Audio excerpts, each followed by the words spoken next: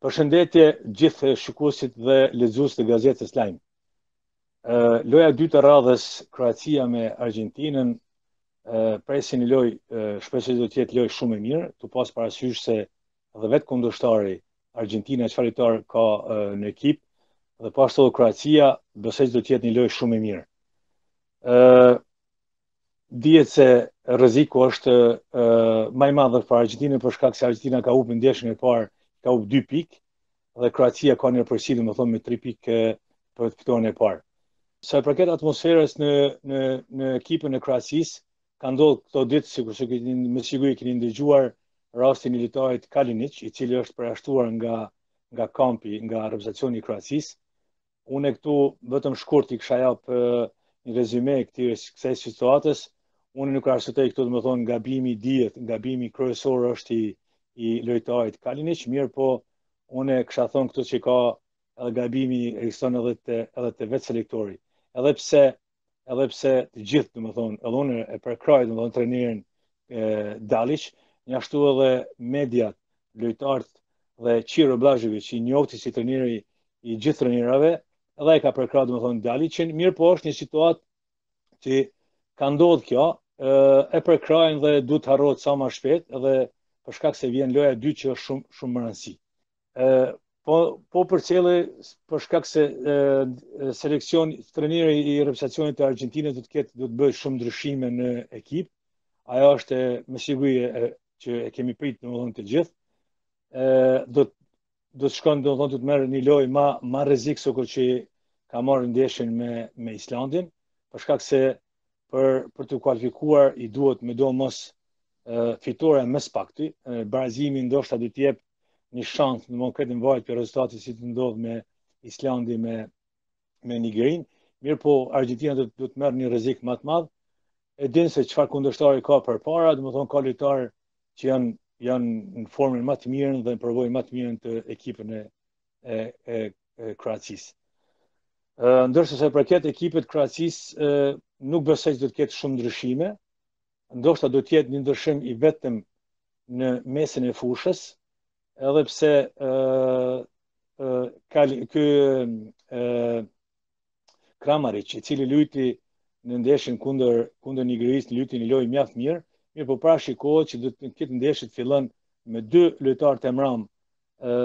me Badelin dhe me Rakiticin, ndërsa, ndërsa Modric, me siguri do të del domethënë përpara aty ku ka qenë Kramaric. S'besoj do të ketë, nuk nuk besaj që do të ketë shumë ndryshime, Ë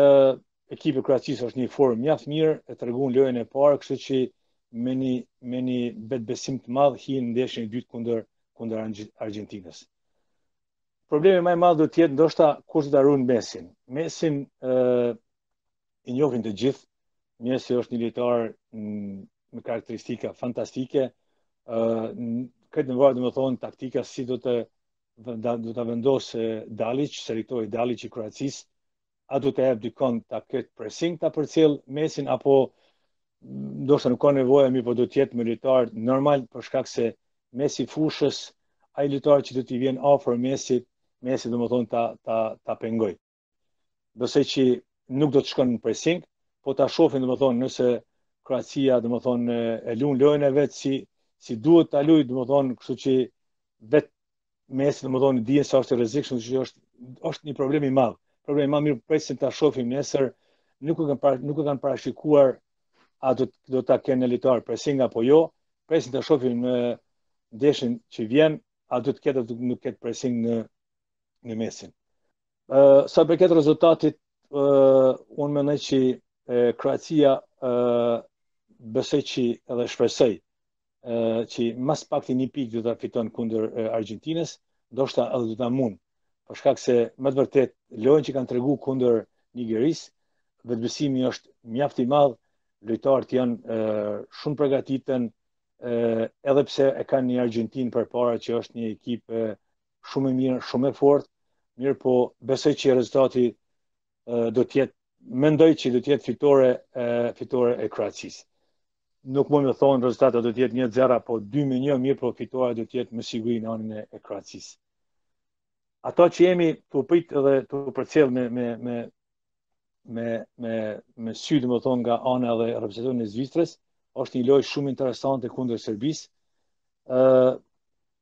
nuk nuk besoj do të ketë do të ketë ndonjë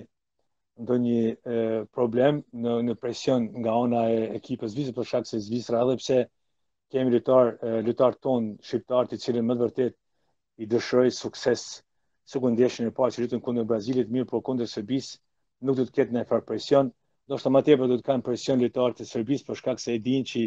kanë lojtarë të Zvicrës a sidomos lojtarë shqiptarë që janë tu lujt mjaft mirë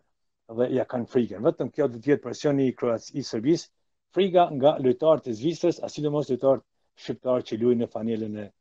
e që mbrojnë ngjyrën e Zvicrës. Unë këtë radhë i dëshiroj sukses Zvicrës, a Kroacisë normal, juve ju përshëndes. Jeni të mrekullueshëm, lajmet e juve i ndëgjoj dhe i përcjelli çdo kohë. Domethënë, kaq nga unë, ju përshëndes nga Zagrebi, keni të fala të përzemërta nga Ardian Kozniku juaj.